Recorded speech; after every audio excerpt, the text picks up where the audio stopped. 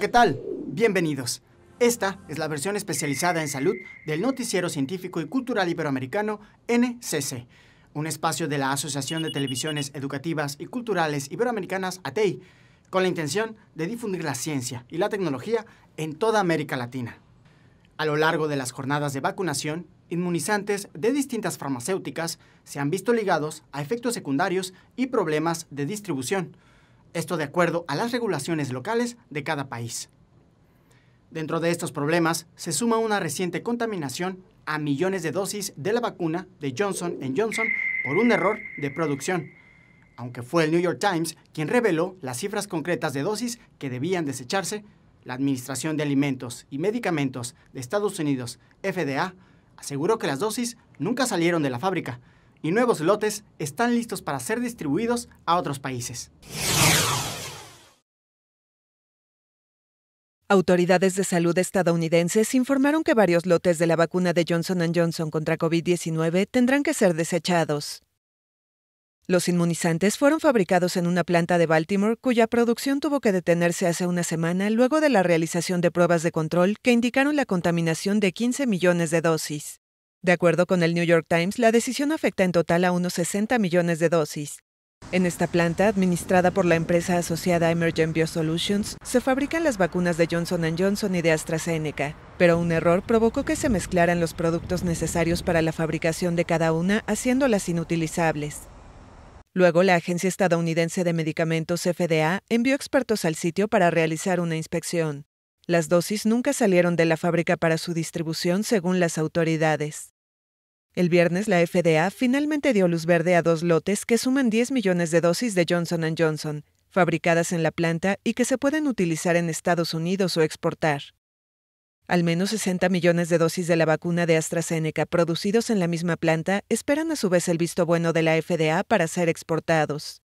El gobierno de Joe Biden prometió entregar esas vacunas a países desfavorecidos en junio como parte de una donación total de 80 millones de dosis a través del dispositivo COVAX. Un éxito en la historia de la medicina, la farmacéutica y la salud pública. Es lo que significa el desarrollo de las vacunas contra el SARS-CoV-2. Los inmunizantes han robado la atención mediática, proceso que ayuda en el desarrollo de medicamentos alternos que también puedan combatir con éxito la infección. Dentro de estos ensayos, algunos tratamientos emergentes han visto afectados sus resultados debido a errores durante su desarrollo. No obstante, esto podría significar un éxito de farmacovigilancia, proceso al que también están expuestos estas nuevas alternativas de salud.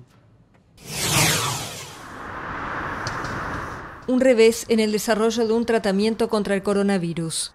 El grupo farmacéutico anglo-sueco AstraZeneca anunció el martes que un procedimiento con anticuerpos para tratar la enfermedad no dio resultado. Según un comunicado de la compañía, el ensayo no logró el objetivo principal de prevenir los casos sintomáticos de COVID-19 después de la exposición al virus. El tratamiento se encontraba en la fase 3 de desarrollo, es decir, en ensayos clínicos a gran escala, para medir su seguridad y eficacia. Los 1.121 participantes eran adultos que no estaban vacunados y que habían estado expuestos a una persona infectada durante los ocho días anteriores. El tratamiento redujo el riesgo de desarrollar el COVID-19 con síntomas solo en un 33%. Los ensayos para evaluar el medicamento en pacientes antes de la exposición al virus y en aquellos que han desarrollado formas graves igual continúan. El revés se da cuando la compañía sigue enfrentando problemas con su vacuna contra el COVID-19, suspendida en varios países europeos después de algunos problemas sanguíneos en personas inmunizadas. Desarrollar efectos secundarios después de recibir alguna de las vacunas contra la COVID-19 es completamente normal. Incluso, estos síntomas pueden llegar a ser un indicio de que la vacuna está funcionando.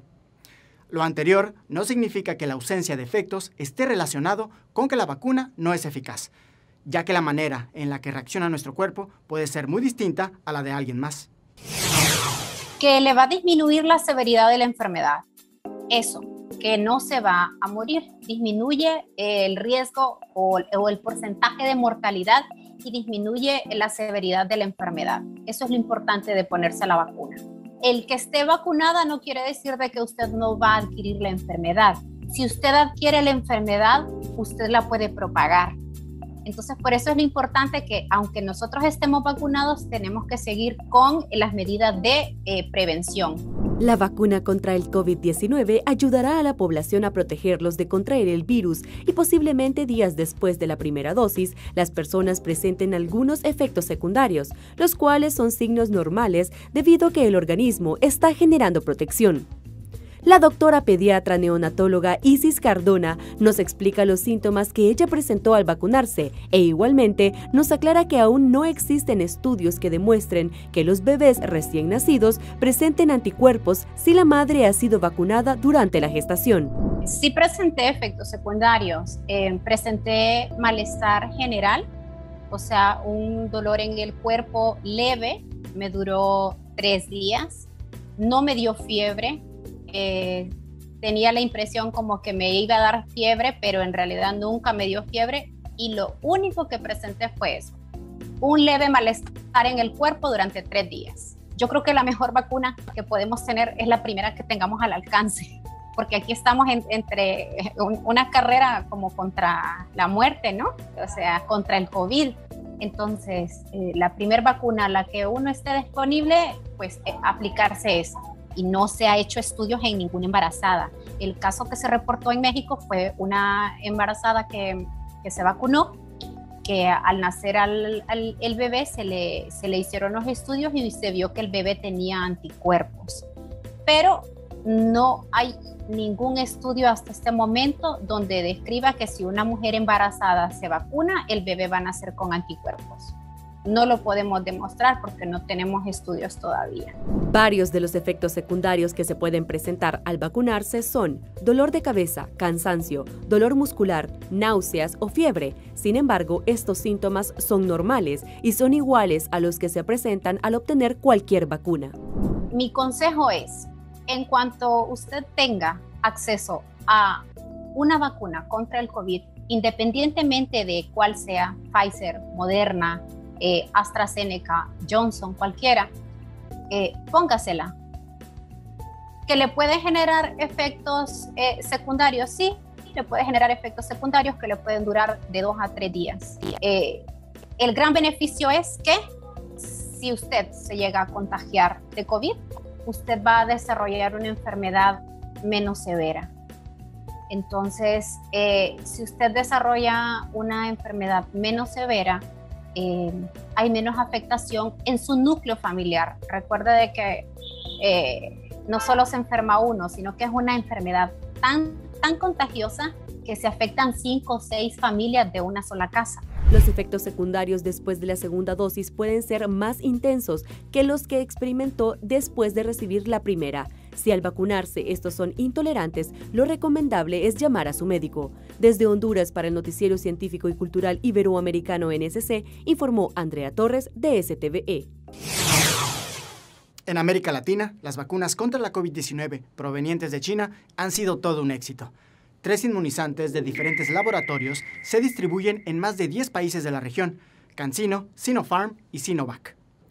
En algunos territorios como el chileno, el Ministerio de Salud ha hecho estudios sobre el efecto en la población inmunizada con estas vacunas, arrojando resultados muy alentadores. El nivel de producción y su rápida distribución le han valido al gigante asiático carta abierta en la región norte, centro y sudamericana. De México a Chile, pasando por Colombia, Brasil o Perú, China ha seducido a Latinoamérica para adquirir sus vacunas contra la COVID-19. Su gran capacidad de producción y la rapidez a la hora de distribuirlas ha sido su mejor carta de presentación.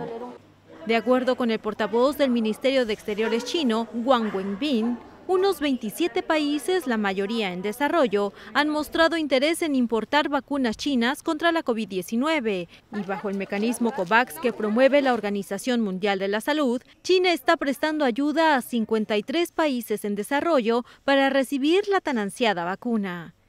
Con vistas al extranjero, las vacunas desarrolladas por Sinopharm, Sinovac y CanSino también están siendo empleadas en África y el sudeste asiático, mientras que en Europa solo han llegado a Serbia, país aliado de Pekín, o a Hungría. La rápida expansión de estas vacunas ya ha provocado algún encontronazo en el ámbito diplomático después de que algunos líderes europeos criticaran a China a cuenta de esta campaña. Por su parte, China se ha limitado a criticar a los países desarrollados por hacer acopio de grandes cantidades de vacunas y rechazó que tenga objetivos geopolíticos en mente. Lo que es una realidad es que China espera aumentar la producción de sus vacunas contra la COVID a 2 mil millones de dosis este año y a 4 mil millones en 2022. Un ambicioso plan logístico con el que Pekín aspira a convertirse en el gran distribuidor del fármaco en los países en desarrollo. El ácido ribonucleico, conocido por sus siglas ARN, es el encargado de la síntesis de nuestras proteínas del cuerpo. Mientras el ADN contiene toda nuestra información genética, el ARN permite que ésta sea comprendida por nuestras células. Actualmente esta molécula permitió el desarrollo de dos de las vacunas más efectivas contra el coronavirus, dando comienzo a una nueva era en la medicina, que además podría prevenir muchas otras enfermedades. Todo gracias a un compuesto tan fundamental con el que se piensa pudo comenzar la vida en la Tierra. Un grupo de investigadores tiene su foco puesto en el estudio del ARN extracelular, campo en el que podría encontrarse una forma de diagnosticar distintas enfermedades de manera más temprana y con métodos menos agresivos. Juan Pablo Tosar, biólogo molecular uruguayo, hace parte de los investigadores. Trabaja en el campo del ARN extracelular en el que estudia el mecanismo de diálogo molecular entre células que están cerca o distantes en el cuerpo. Luego está otra faceta que es, como están ahí, podemos de una muestra de sangre o de orina secuenciar todos los ARNs que están en, ese tipo de muestras y determinar si ese perfil de ARN corresponde a una persona sana o a una persona enferma. Eso podría permitir hacer un diagnóstico más temprano de ciertos tipos de cáncer, de, tumores que en general se detectan muy tardíamente. Así, las personas podrían someterse a mediano plazo a análisis de rutina y que en ellos, mediante una marca de un perfil de moléculas de ARN, se obtengan señales de alerta que indiquen si una persona debe ser estudiada en profundidad porque hay ARN que se asocia con alguna enfermedad. En al menos 30 países del mundo, el matrimonio entre personas del mismo sexo ya es una realidad legal, siendo el continente europeo quien cuenta con más regiones que han legislado en favor de esta unión. Por su parte, las desigualdades, rezago y violencia significativa que viven en América Latina grupos minoritarios expone también un tema de derechos humanos que avanza con lentitud. No obstante, grupos LGBT se mantienen firmes sin perder las esperanzas. El caso de Migdeli refleja el drama de muchas parejas del mismo sexo en Venezuela. Su esposa falleció a causa de la violencia en el país. Ambas tenían un hijo gestado por reproducción asistida. Había una denuncia en puerta, que es un procedimiento que se llama Inquisición de Maternidad, donde los padres de, de mi esposa, eh, quien fuera mi esposa en ese momento, estaban solicitando este, pues la, quedarse con mi hijo. Las organizaciones LGTBI quieren que la nueva Asamblea de Caracas legalice el matrimonio del mismo sexo. Venezuela está a la cola de Latinoamérica en este aspecto y países como Argentina, Colombia, Brasil, Uruguay o México ya tienen leyes a favor. Creemos que mm, nosotros somos mucho más que el, que el simple fetichismo con el que quieren calificar al matrimonio igualitario. Nosotros no se trata de un fetiche, sino de todas las consecuencias jurídicas que él trae. La adopción, la familia. Pero el principal escollo para legislar está en la religión, muy afianzada entre la población y en las instituciones. Entendemos que eh, eh, o puede haber un trasfondo, y hay un trasfondo espiritual, desde el punto de vista de ciertas ausencias que han llevado en ciertas eh, posiciones a tener, digamos, aceptar esta línea de, identidad. Eso nosotros lo respetamos en la decisión que cada uno pueda tomar. Pero nosotros fijamos una posición en cuanto a moral, buenas costumbres y tradición. En 2016 el Tribunal Supremo admitió que las familias homoparentales debían tener protección, pero la Asamblea Nacional aún no ha legislado al respecto. Existen conceptos que de pronto comienzan a escucharse con frecuencia en las redes sociales, y logran abrirse paso a nuestras conversaciones cotidianas. Seguro han escuchado hablar del mindfulness. Especialistas indican que esta noción está ligada a la psicología y significa atención plena. Consiste en la conciencia del tiempo presente, focalizando la atención en los pensamientos, emociones, sensaciones corporales y el ambiente que nos rodea. Esta técnica, que basa sus principios en el bienestar mental, está siendo utilizada por distintos grupos, entre ellos agentes de policía en España. Dar a conocer los beneficios del mindfulness dentro del colectivo policial es lo que ha llevado a Jaime Navarrete, técnico medio de investigación de la Universidad de Valencia y alumno de doctorado, y a Miguel Ángel García, agente de Policía Nacional, a formarse y desarrollar con éxito el programa Mindfulness aplicado al bienestar policial, que vuelve ahora con una segunda edición. Mindfulness aplicado para el bienestar policial es una intervención psicoeducativa orientado a policías que tiene como componente fundamental esta habilidad psicológica, el desarrollo de mindfulness. Entonces es un programa de ocho sesiones que busca ofrecer un set de estrategias eh, de regulación emocional a agentes de policía. Desde el laboratorio Lapsitec de la Universidad de Valencia y en colaboración con la asociación H Policía, se han investigado los efectos del programa. El resultado más importante es que este programa de mindfulness podría ser utilizado en la prevención del suicidio policial. También se ha evidenciado que ayuda a reducir los síntomas de la depresión, la ansiedad y el estrés y mejora la calidad del sueño y la regulación emocional. Mindfulness también bebe a veces de otras fuentes o tiene su origen en otras fuentes más espirituales, más de, corte budista. Y nosotros hemos querido hacer un programa específicamente eh, basado en la ciencia. De los 20 compañeros y compañeras que hicieron el curso, absolutamente todos nos han expresado que les ha sido de utilidad tanto a nivel profesional como, como a nivel personal. Para seguir profundizando en el estudio de la eficacia de esta intervención psicoeducativa, Jaime y Miguel se plantean nuevos retos en esta segunda edición del programa no solamente una segunda edición, sino futuras ediciones en las que queremos eh, replicar los buenos resultados y mejoras que hemos obtenido en mindfulness, autocompasión, ansiedad, estrés, depresión, calidad del sueño.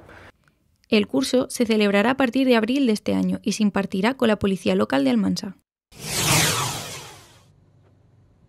¿Tienen género las profesiones? Los estereotipos en el ámbito laboral son una práctica que lleva años siendo perpetuada gracias también al cine y la televisión que han reforzado estos conceptos.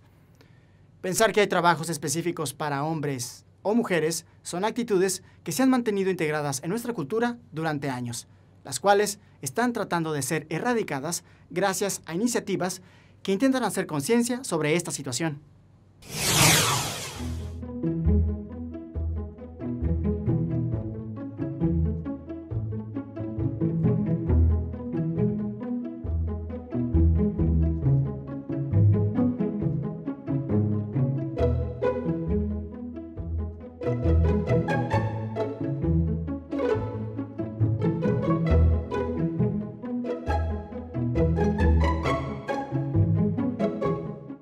Sind Talente und es sind Fähigkeiten, die Menschen ausmachen und das hat nichts mit dem biologischen Geschlecht zu tun. Und wir wollen da halt mit aufräumen äh, und sensibilisieren, dass diese Klischees uns an so vielen Stellen behindern.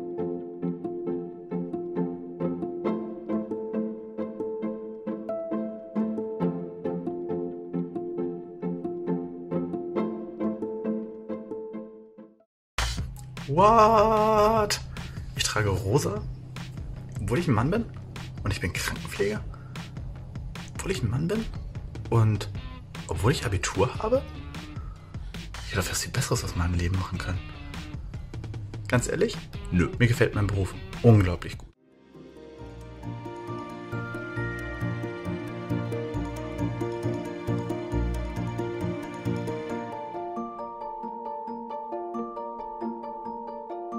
sind ja trotzdem Arbeitsbedingungen, unter denen zu arbeiten erfordert eine hohe Bereitschaft zur Selbstausbeutung. Und ich finde, umgekehrt ist erstmal die Frage zu stellen, warum gehen überhaupt so viele Frauen in diese Berufe? Und ich würde sagen, das hat was mit einer Erziehung zu tun, also wo Weiblichkeit sehr viel mit Aufopferungsfähigkeit verbunden wird für andere. Und mein Ziel ist nicht, das jetzt auch noch bei allen anderen zu fördern, sondern mein Ansatz wäre eher, wie schaffen wir das, dass diese Berufe so attraktiv werden, dass Leute sie gerne machen können, das als eine gute Entscheidung für ihr Leben begreifen können, und zwar alle weil es sind ja für das Bestehen unserer Gesellschaft wahnsinnig wichtige Berufe und es sind so viele Menschen abhängig von denen, die in diesen Berufen arbeiten. dass es zulasten all der Zielgruppen geht, wenn die Bedingungen schlecht sind.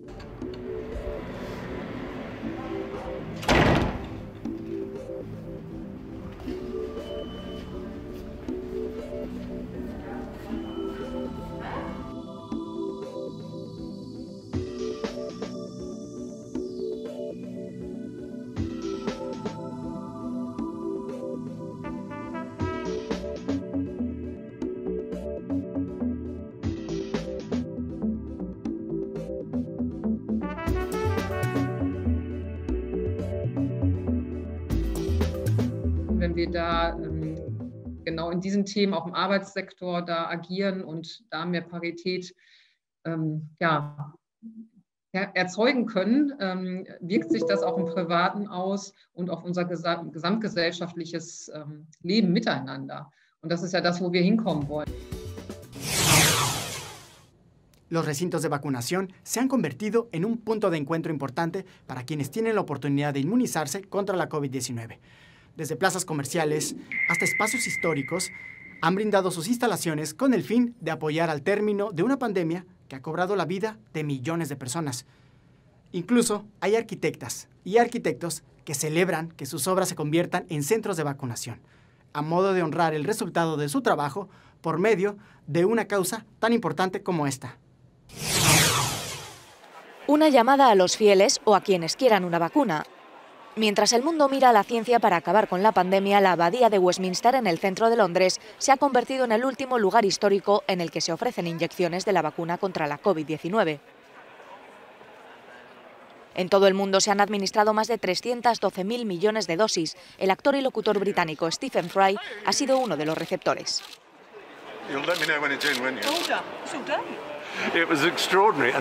Fue extraordinario hacerlo aquí en la Abadía de Westminster, la gran sede de las coronaciones de la nación.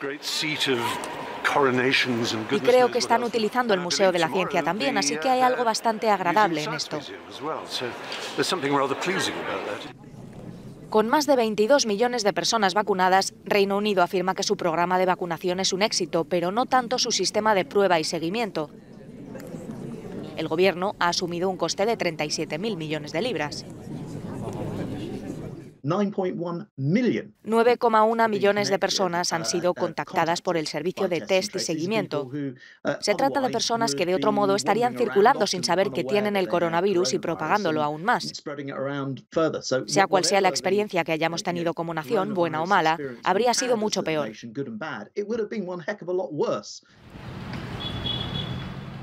Italia también está utilizando edificios emblemáticos para acelerar su campaña de vacunación. El centro de convenciones La Nube se ha convertido en el mayor centro de vacunación contra la COVID-19 del país.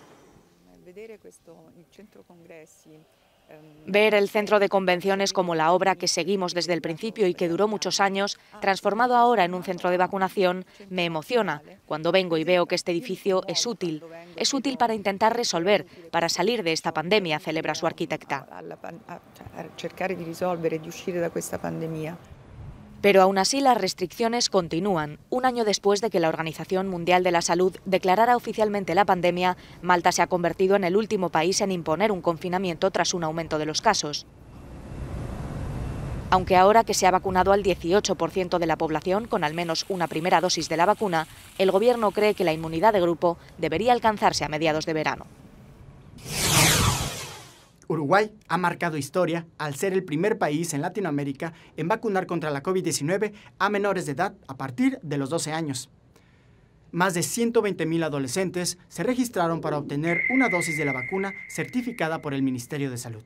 Y con esto se busca un aumento en el porcentaje de personas inmunizadas, pero también ayudaría a asegurar un regreso a clases presenciales mucho más concreto a partir de la segunda mitad de este año y decidí vacunarme por mí y por mi familia y para poder retomar las actividades lo más pronto posible. Como Martina, cientos de adolescentes de entre 12 y 17 años están empezando a recibir la vacuna de Pfizer en Uruguay. El país latinoamericano lleva la delantera en la inoculación a menores contra la COVID-19. Alrededor de 157.000 menores ya se han apuntado se comenzó a agendar eh, de los 17 hacia, hacia abajo y hoy en general la mayoría de los pacientes que tenemos, de las personas, perdón, que tenemos agendadas son este, alrededor de los 16, 17 años. Con esta decisión, las autoridades esperan adelantar el retorno presencial a las aulas de la enseñanza media para finales de julio, una vez que el grupo alcance la inmunidad completa. Con los peores datos del mundo de número de fallecidos en relación a su población, Uruguay lo apuesta todo a la campaña de vacunación. El 30% de la población ya ha recibido la pauta completa. Gracias por acompañarnos en este viaje informativo en el Noticiero Científico y Cultural Iberoamericano NCC, especializado en ciencias médicas y tecnología de la salud. Recuerden que también tenemos ciencia, tecnología y cultura con Iván Carrillo y Ana Cristina Olvera. Gracias a nuestros socios de ATEI, que a través de sus plataformas hacen posible esta transmisión. También gracias a las agencias informativas AFP, EFE, Notimex, Xinhua, Euronews y Deutsche Welle.